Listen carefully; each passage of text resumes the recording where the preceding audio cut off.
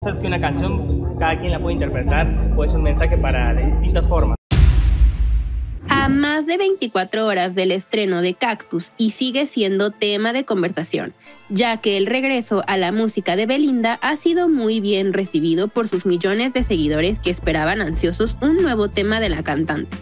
Sin embargo, lo que la ha vuelto a situar en el centro de la atención son las diversas insinuaciones tan directas hacia su expareja Cristian Nodal. Además, dicha situación ha provocado que incluso algunos compañeros de Belinda de las telenovelas infantiles salgan en su defensa. Por otro lado, luego de una conferencia de prensa sobre la nueva serie de presentaciones e invitados especiales en la gira 2000 por siempre, Martín Rica, ex estrella infantil de Televisa, fue interrogado sobre la polémica que rodea a su ex compañera de telenovelas. Luego de preguntarle si le gustaría que Belinda se uniera a la gira en la que participan diferentes exestrellas infantiles de Televisa, también se le consultó sobre el nuevo lanzamiento musical de la cantante, donde fue que denunció haber sufrido malos tratos por parte de Nodal. Además, Martín Rica optó por no involucrarse en polémicas y afirmó no estar al tanto de lo sucedido en la relación entre Belinda y Nodal. Sin embargo, expresó su oposición a cualquier acto de violencia.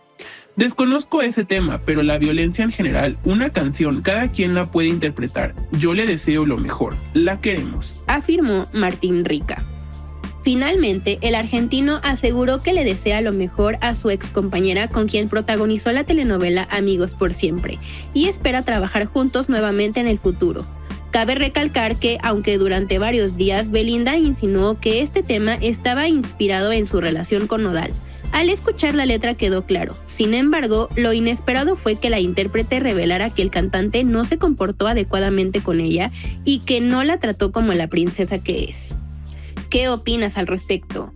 ¿Qué piensas sobre la postura de Martín Rica de no involucrarse en la polémica y expresar su deseo de que Belinda le vaya bien?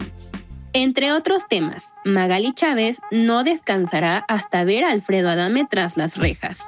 Si quieres saber más del tema, te compartimos el siguiente link.